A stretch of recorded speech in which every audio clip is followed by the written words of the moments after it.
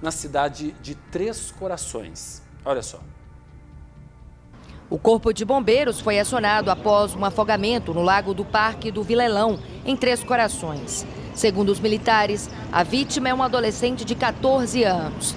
A equipe mergulhou na água e, após cerca de 15 minutos, conseguiu retirar a vítima. O menino foi levado inconsciente e sem pulso para a unidade de resgate. O caso é investigado.